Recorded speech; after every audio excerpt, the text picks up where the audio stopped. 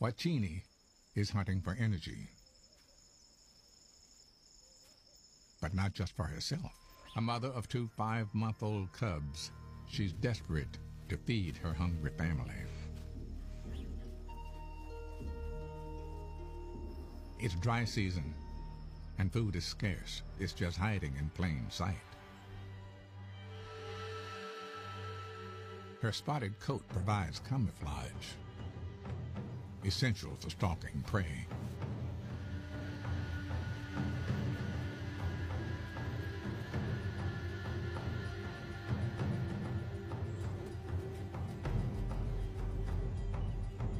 With few places to hide, getting closer isn't an option. Luckily, Wachini has a trick up her sleeve.